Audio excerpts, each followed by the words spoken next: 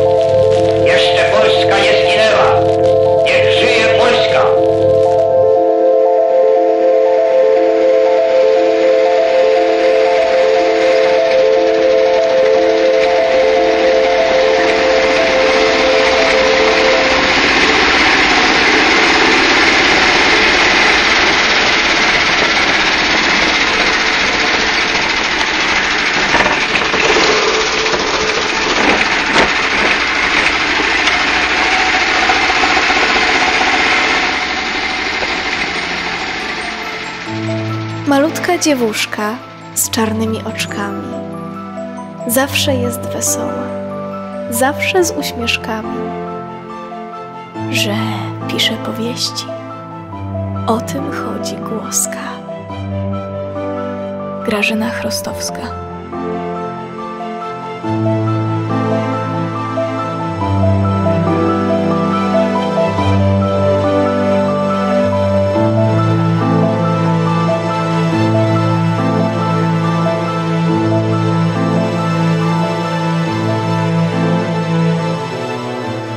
Rodzina Chrostowskich mieszkała w Lublinie w dzielnicy 10 przy ulicy Pochyłej e, numer 5. Michał Chrostowski był ożeniony z Wandą z domu Pomianowskich.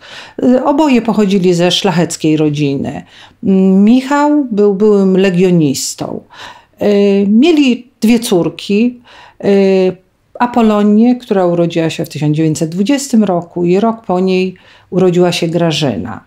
Michał Chrostowski był bardzo blisko związany z marszałkiem Piłsudskim.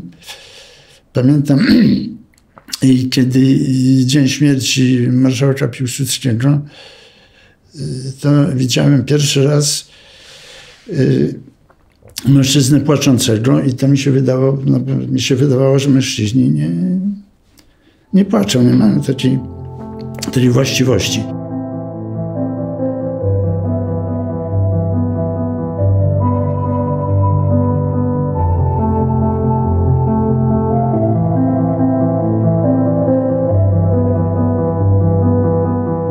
Była to rodzina bardzo otwarta, prowadząca otwarty dom. Mama Grażyny i Apolonii dosyć wcześnie zmarła, gdy Grażyna miała 11 lat, więc ciężar wychowania dziewczynek, jak to mówili sąsiedzi, spadł na Michała Chrostowskiego. I tutaj rzeczywiście sąsiedzi go bardzo podziwiali, ponieważ nie związał się z żadną kobietą, tylko poświęcił się wychowaniu córek. Ja z mamą często chodziłem na tą pochyłą.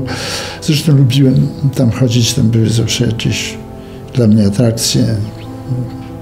Wujek miał ciekawe książki, takie przyrodnicze, co mnie interesowało. Grażyna była taką mm, bardzo ciepłą, bardzo taką dla mnie bliską osobą.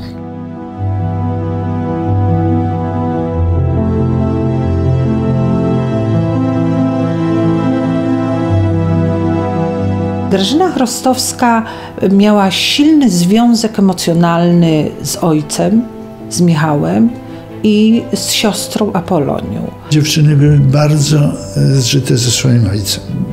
One były, uwielbiały mojego wujka Chrostowskiego. No i nawzajem się bardzo, bardzo się kochały obydwie. Bardzo.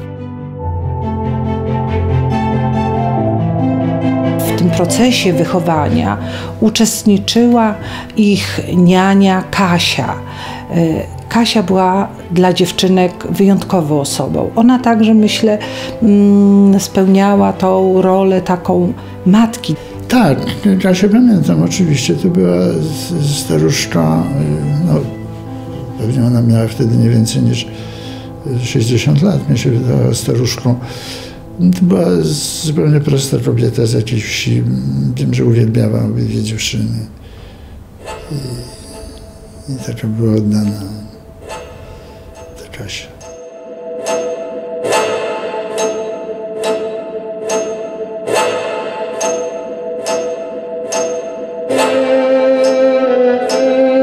Grażyna Chrostowska z chwilą y, wybuchu wojny y, no, y, była uczestniczką zakładania organizacji konspiracyjnej, bo jej ojciec, Michał Chrostowski, już pod koniec września w ich mieszkaniu na Pochyłej zorganizował zebranie. Oczywiście wiedząc, że nie może zostawić sprawy, walki o niepodległość komuś innemu, y, zaprosił swoich kolegów, legionistów, w tym Bolesława Studzińskiego, i w ich mieszkaniu y, została powołana Komenda Obrońców Polski.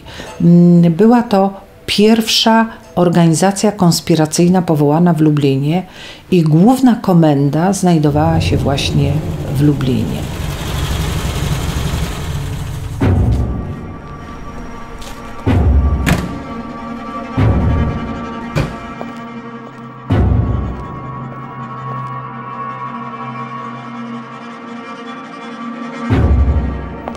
Szeregi konspiracji został wprowadzony agent Gestapo, e, Galiński, który no, rozpracował organizację od wewnątrz i aresztowania w 1941 w styczniu w Lublinie, ale także aresztowanie Poli w styczniu e, w Warszawie spowodowało rozbicie organizacji Komendy Obrońców Polski.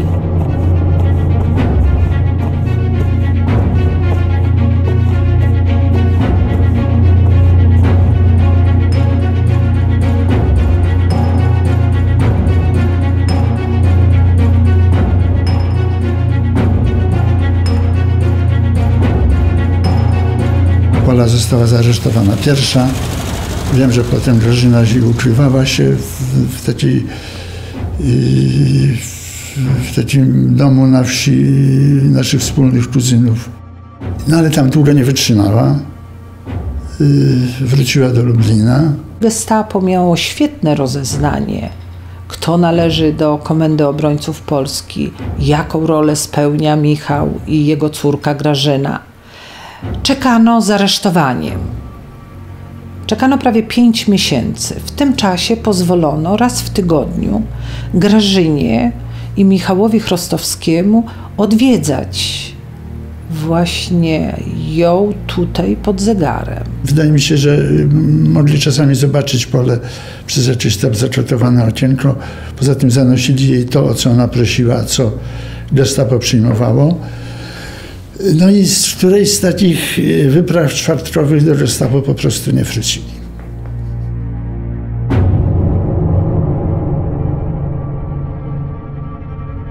Aresztowano ojca i siostrę.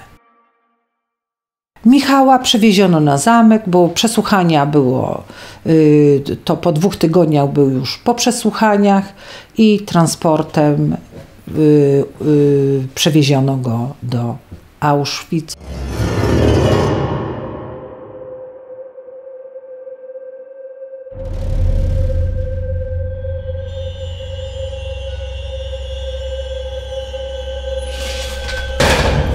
Mnie osobiście aresztowali, umieścili właśnie tam, gdzie po kolei wszystkich, to znaczy w gestapo, bo siedziba gestapo to jest Wasia Orzatowska w Lublinie, to jest muzeum pod zegarem. Tam były przesłuchiwania wszystkich, którzy potem byli skazywani albo od razu na śmierć, albo od razu zawijani, albo na zamek. Pomijając grożenie, bo bez przerwy grozili, broń leżała, leżały jakieś aparaty, które do, nie wiedziałam do czego służą. Widziałam tylko już wiszącą Izę do góry nogami, wiszącą nad, nad drzwiami, w, w takiej jakiejś dziwnej sytuacji. Byłam tak przerażona, że jak zobaczyłam wiszącą Izunię, wie, wiecie Państwo, ona wleciała do góry nogami. No i prawdopodobnie było bicie, tak charakterystyczne bicie w krocza. To jest bardzo bolesne. Ja nie byłam bita w ten sposób, ale wiele koleżanek starszych ode mnie trochę było rzeczywiście w taki sposób bite.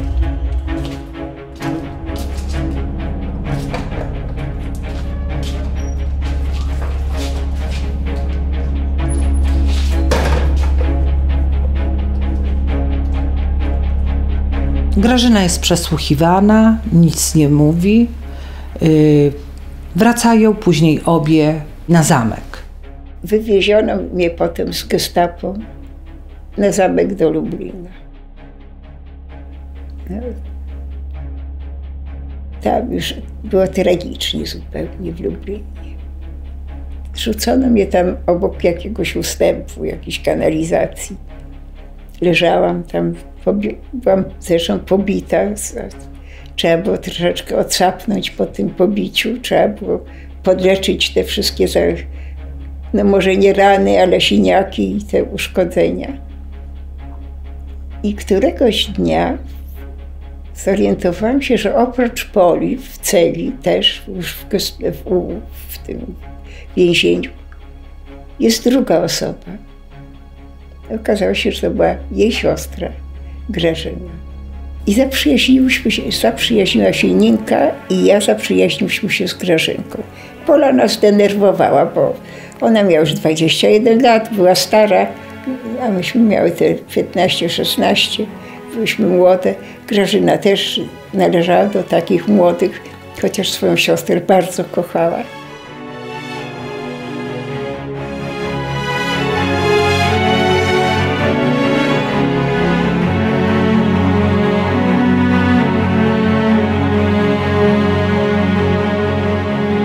Tu się zdarza no, rzeczywiście wyjątkowa sytuacja, bo mogą być razem w jednej celi.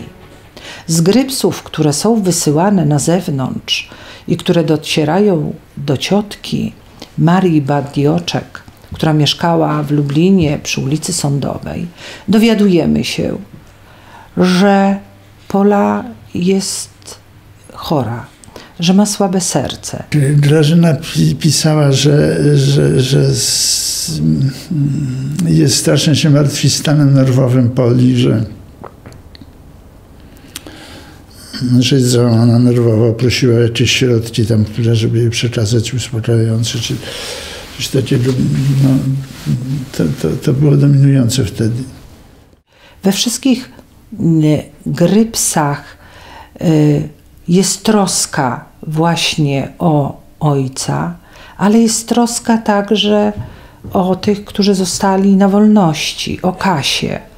Mm, Kasia, ich niania, yy, organizuje paczki, przysyła paczki do więzienia, przysyła lekarstwa. Oczywiście robi, robi to w porozumieniu z ich ciotką, Marii Badioczkową.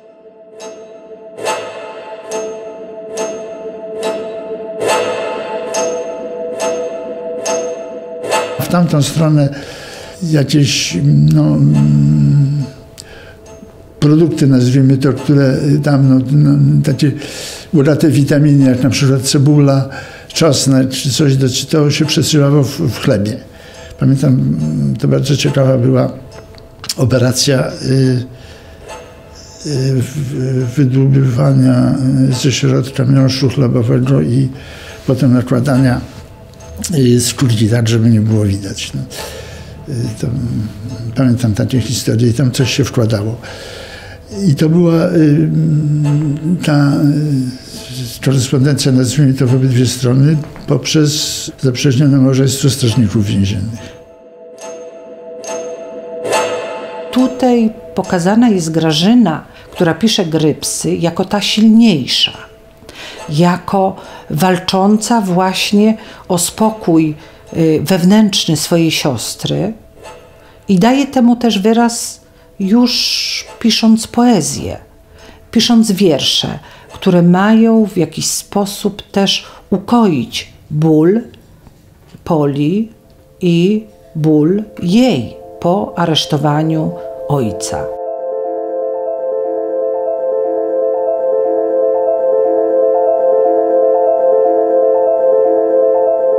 Nie wiedziałam, że Grażynka jest poetką.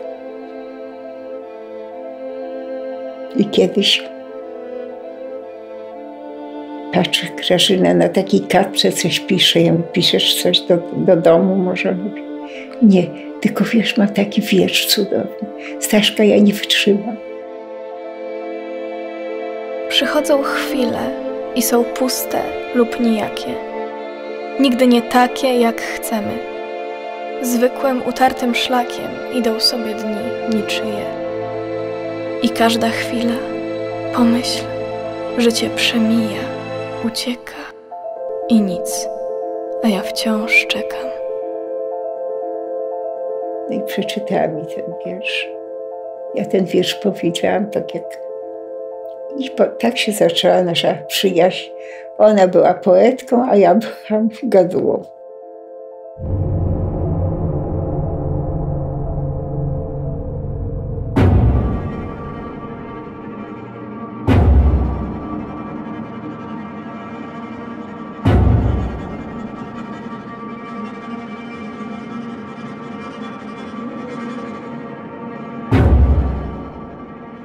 Kapliczce na zamku odbywały się doraźne procesy.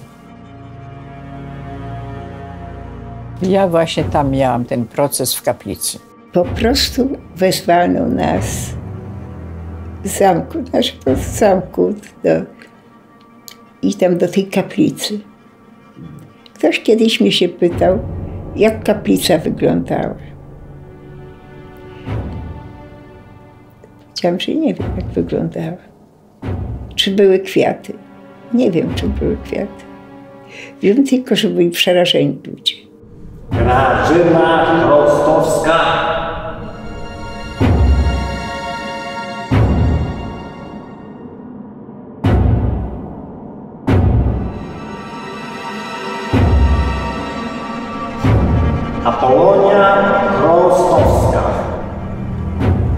Nie było żadnych pytań, żadnych py... nic. Była tylko nazwiska.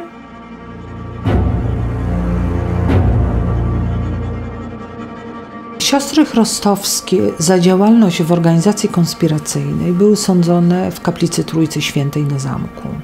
Tam dostały wyrok śmierci. Oczywiście y, nie wiedziały, kiedy ten wyrok będzie wykonany.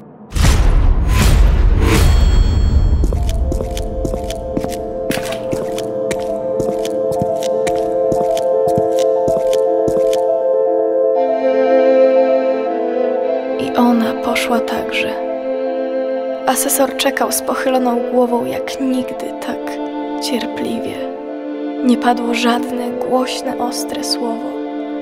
Na mgnienie oka mogło się zdawać, że patrzy życzliwie. W jednej też chwili porzuciła wszystko. Odsunęła jak owe niepotrzebne rzeczy. Pożegnała nas mocnym rąk uściskiem. Ten uścisk jej nam kazał miłować, wierzyć. Codziennie tylko y, y, się czekało na to, że oni wyciągną. No i a y, rozstrzelania były na dziedzińcu zamku.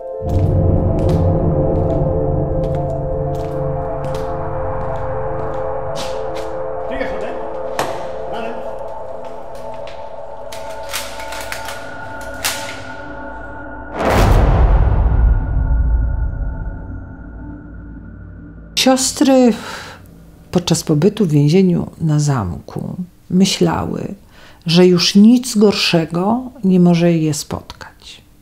Dlatego też, gdy dowiedziały się, że idą w transport, mówiąc, właściwie były zadowolone. I to też ta radość z pójścia w transport nie tylko objawia się u dziewcząt, u sióstr chrostowskich. One więzienia na zamku miały już dosyć i myślały, że transport do obozu koncentracyjnego jest czymś lepszym.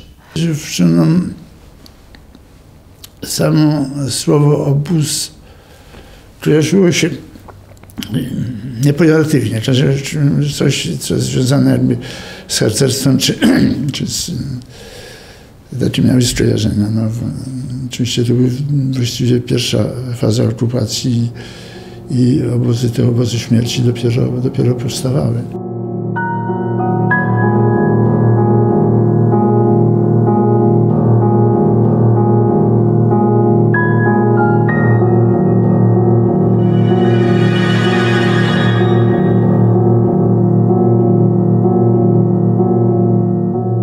Jak już wyjeżdżałyśmy, dostałyśmy kartki, odkrytki, te, te takie odkrytki i ze znaczkami.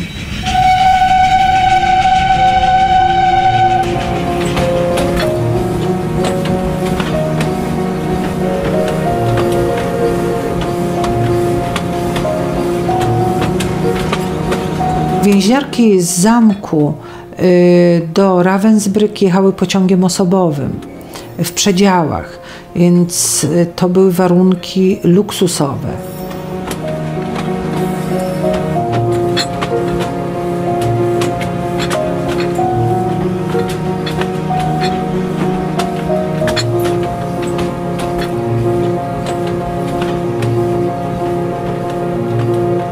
Miałyśmy tych kartek chyba z 50 a może i więcej.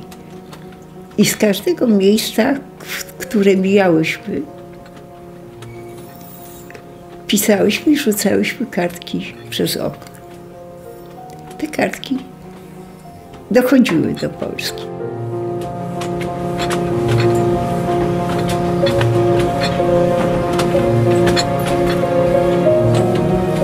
Udało mi się dać pierwszą wiadomość z pociągu pociągu na kawałku gazety.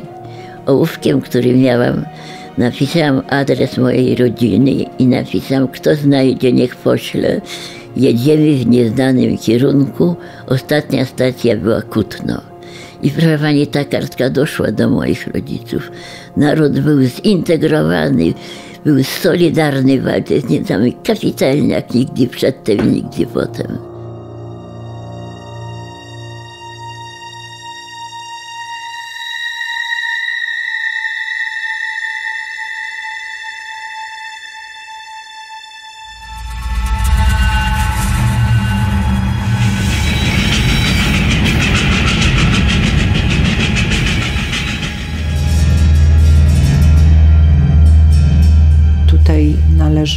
Powiedzieć, jaką rolę odgrywali polscy kolejarze.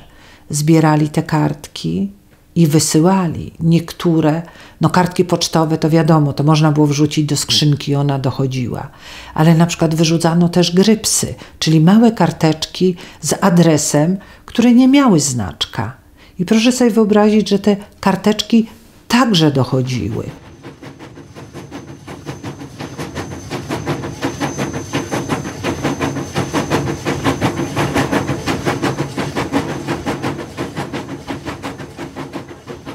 Ravensbrück. No tu już myśleliśmy, że znaleźliśmy się, w piekle.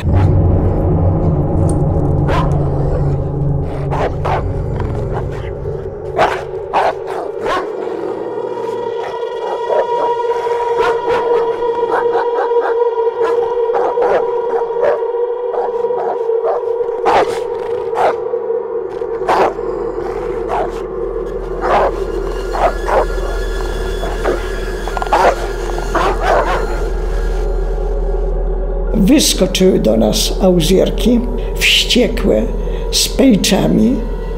Psy gdzieś szczekały.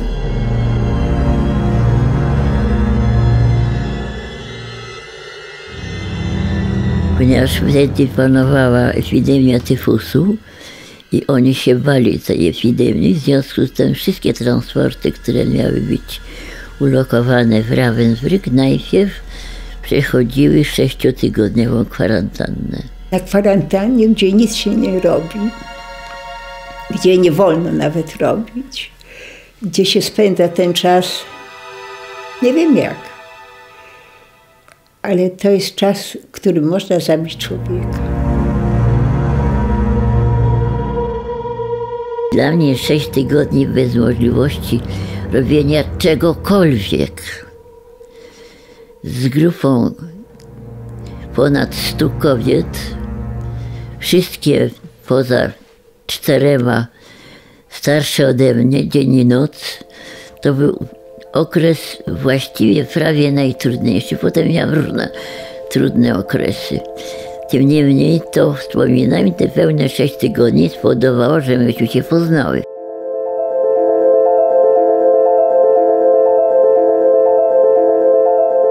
Stasia Śledziejowska zobaczyła słonecznik, który rósł za oknem barakowym.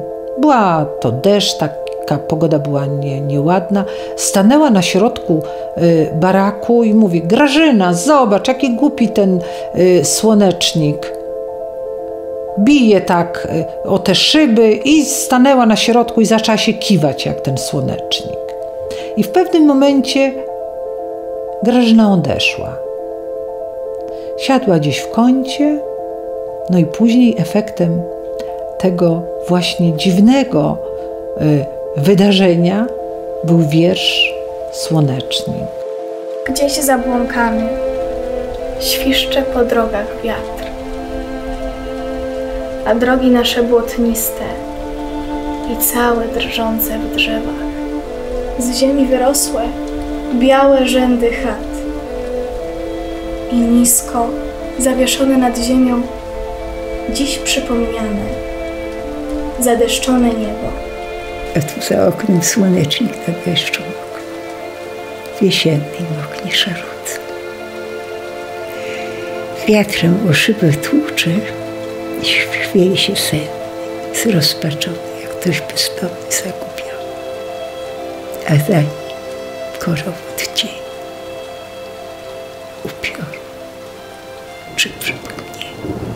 A niedaleko w szczerym polu Słomiany czerep chochoła, straszy, a może woła wszystkim, co dawne, utracone. Wizje przysz, przeszłości zagubione. Pamiętasz? Sen o szpadzie i prawda, szydzący błazen, a ja jak dawniej. Dziś tylko inaczej płaczę.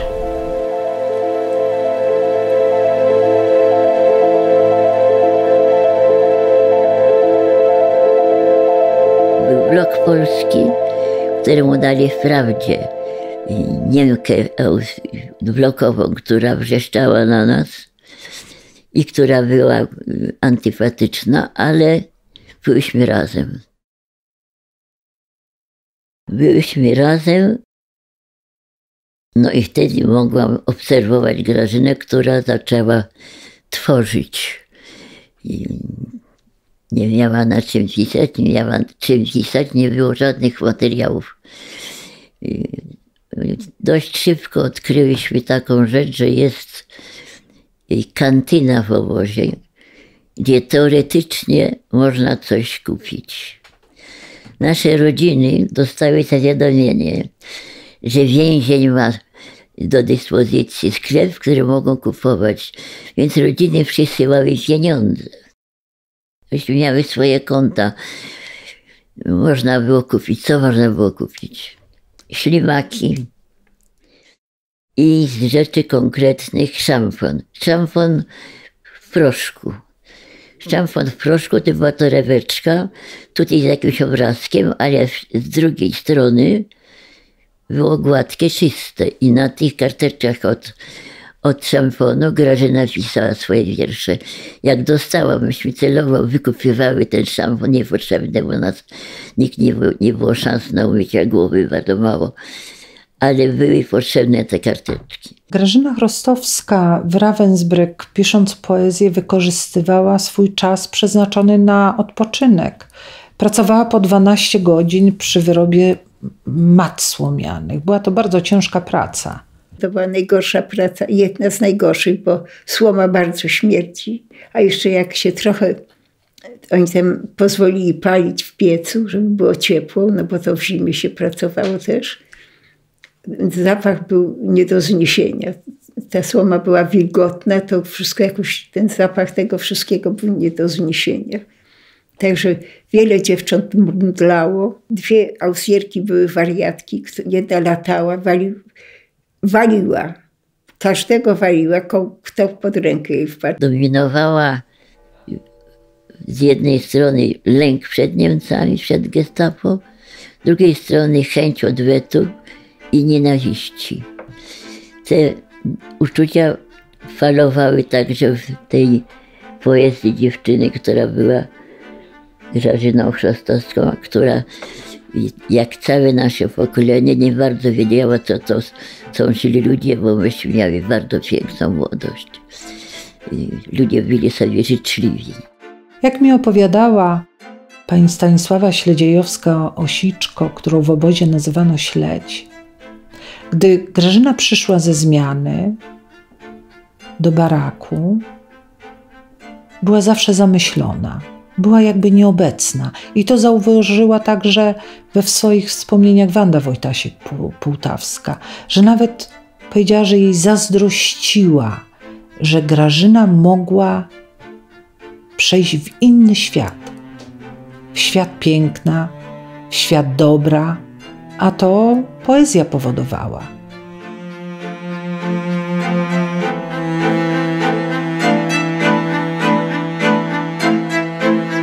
Nas umieszczono w 15 bloku i wtedy byliśmy wszystkie razem, i Chrostowskie, i utworzył się taki stolik najmłodszych. Najmłodsze, najmłodsze miały były cztery, pięć dziewczynek najmłodszych miały 13-14 lat. One były na innym bloku, ale ja, ja je poznałam, bo poznałam przez to, że y, dostawałam nieraz wiersze. No bo miałam już z nimi kontakt, byliśmy, no taki bardzo bliski kontakt y, z, ty, z tymi lubelskimi koleżankami. Cały czas byliśmy razem i miałyśmy numery przecież 77, ja miałam, Grażyna miała 79 chyba, albo 11. Przepraszam. Przepraszam, 77.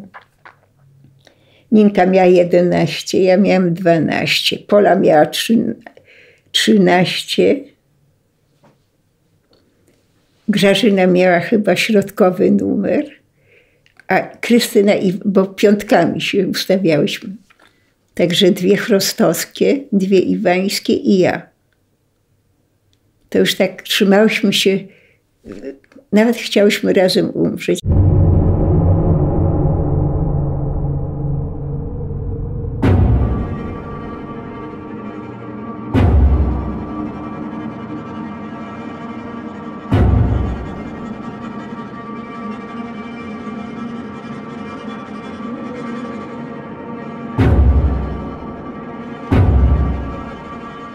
Niemcy nazywali to Piratenblok, bo myśmy nie byli skamrącymi dziewczynami, które się boją. Myśmy śpiewały, nie wolno było śpiewać. Można było dostać kulę w łeb, jak się śpiewało, a myśmy właśnie śpiewały. Pani Hermina Kubica dostawała, blokowa nasza, dostawała białej gorączki z naszego powodu. Bo myśmy zawsze coś takiego wykombinowały budowano nowy ośrodek, czyli nowe bloki budowano, nowy lagier. I to sterna piasku była, bo to, bo to były takie drewniane domy na takich piaskowych fundamentach. Fundamenty tak z piasku zupełnie. I myśmy tam w nocy szły, jak była pogoda śliczna. A była już wtedy. Cichutko siedziałyśmy, żeby nas psy przypadkiem nie wyszczuły. Mówiliśmy poezję, nie tylko Grażynki, Ale dziewczęta zapoznawały mnie z poezją, faktycznie z prawdziwą poezją, taką poważną poezją, szkolną poezją, ale poważną. A Grażyny to było takie, takie słodkie i wtedy płakałyśmy. Nina, ja i, i Grażynka.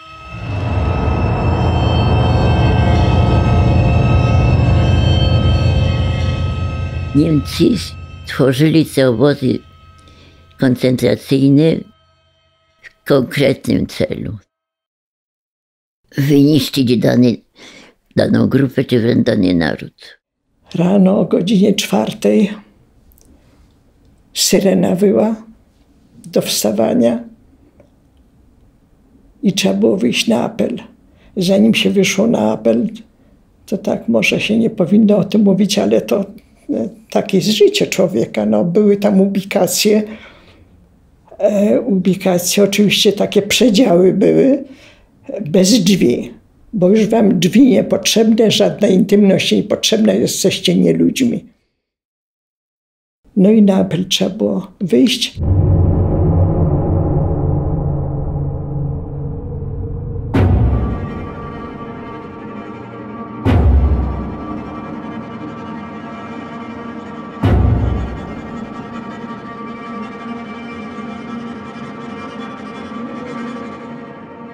Ustawiono nas dziesiątkami na odległość ramion z jednej strony, z drugiej strony i z tyłu. O godzinie między siódmą a ósmą przyszła auzjerka i blokowa zdawała jej raport. I ta auzjerka później chodziła, ponieważ byliśmy, jak mówiłam, na odległość ramion.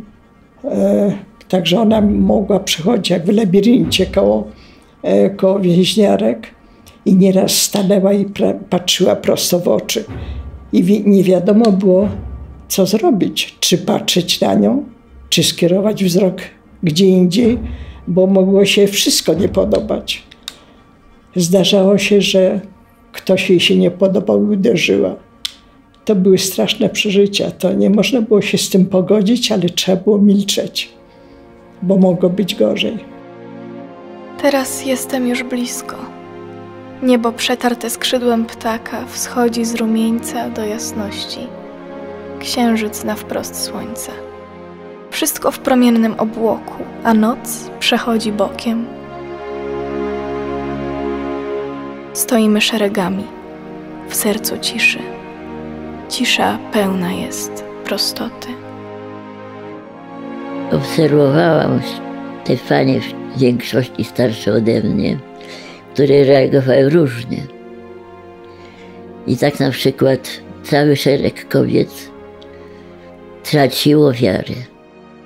Te, które się załamały psychicznie, które nie widziały nadziei, które nie poddały się właśnie działaniu czy to poezji, czy nauki, bardzo szybko ginęły. Ginęły dlatego, że psychika ich powodowała, że nie mogły znieść tego wszystkiego, utrzymać ciężaru. Nie, w końcu stwierdziły, że nie chcą żyć, bo nie chcą już tego y, cierpieć. Równocześnie cały szereg kobiet szukało pociechy w tym, że wierzą w Boga i się modlą. I od razu zostały stworzone przez nauczycielki Między innymi pani Wanda Madyrowa, dyrektorka szkoły, zorganizowała grupy, która się modliła rano i wieczór, wszystkie razem. Niektóre się nie modliły, ale taktownie były cicho wtedy, kiedy inne się modliły. Grażyna należała do tych, które specjalnie się nie wyróżniały modleniem się, ale zawsze była obecna. Niektóre jej wiersze miały ten akcent odniesienia, niektóre miały akcent pewnej rozpaczy. Tu jest taka sytuacja, koniec świata, tu jest całkiem inaczej. W jej wierszach się ujawniała tęsknota za wolnością i całkiem zrozumiała w wieku dojrzewania tęsknota za miłością chłopaka. Jej podziw dla natury to były takie reakcje, które były wspólne innym dziewczynom. Za krzywą drogą w Polsce, jakżeż się za tym tęskniło, chociaż normalnie jak się jechało, Nawet do Świdnika z Lublina to też była krzywa droga. A jak się za tym potem tęskniło, za tymi krzywymi drogami, za tymi... Tak, to już to było coś tak bardzo bliskiego.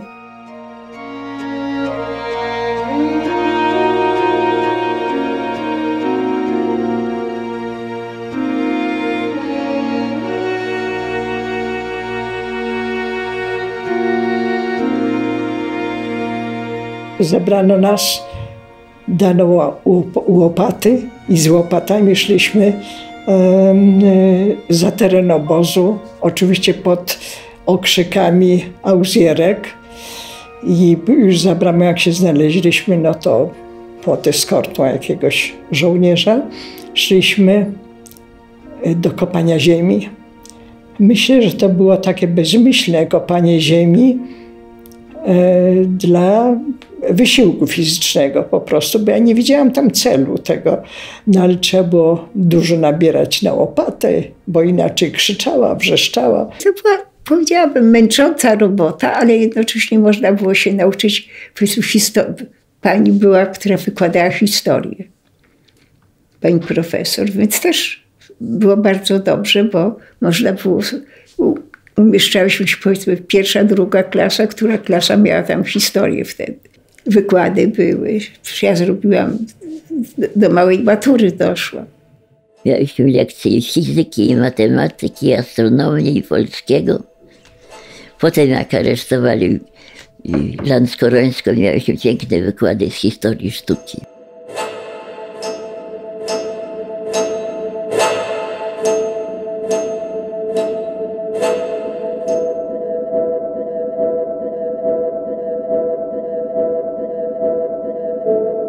Jak mogły być lekcje? Żadnych możliwości bycia razem. Były. Jakie? Afele. Cel afel. Codziennie rano liczono obóz. Miały się zgadzać te wszystkie bloki, które były narodowościowe, ustawiały, były ustawiane dziesiątkami. Jak stały na apelach, to osoby przygotowane do wykładów były nauczycielki, pisarki y, i inne osoby no, wykształcone, prowadziły wykłady po cichu. Ta dziesiątka ustawiła się koło pani y, chorążyny, która była polonistką, która y, robiła lekcje. Nauczycielka stawała w środku tej dziesiątki, po obu stronach dziewczyny. Podczas apelu bywały lekcje.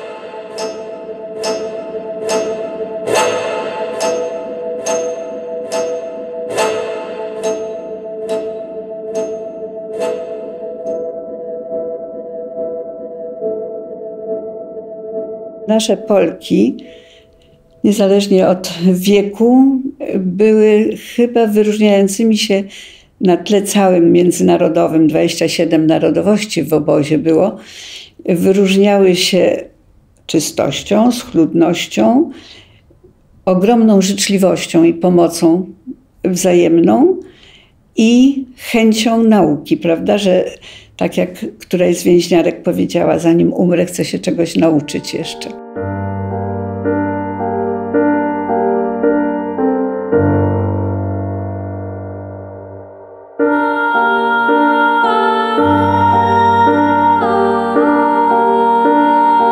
Ona miała to nastawienie refleksyjne.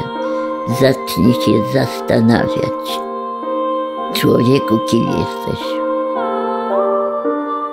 Skąd się wziąłeś, do czego zmierzasz, co to jest ojczyzna.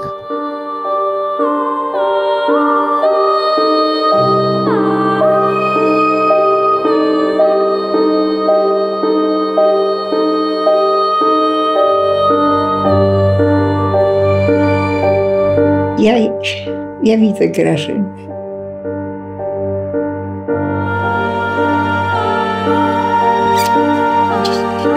Oddzielić Grażynę ode mnie w tej chwili.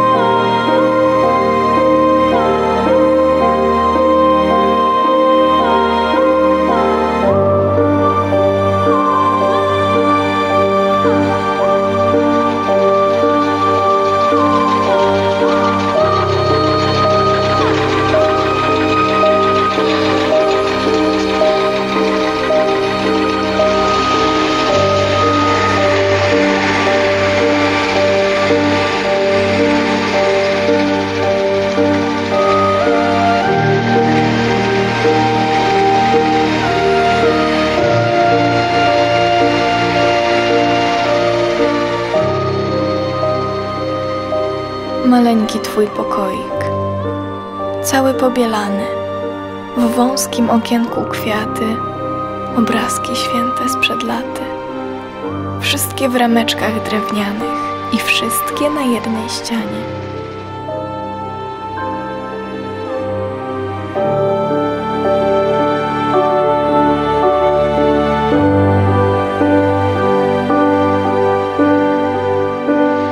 Na prostym krzyżyku różaniec, a w kącie na stole zioła i w buteleczce woda święcona. Wszystko to boska opieka.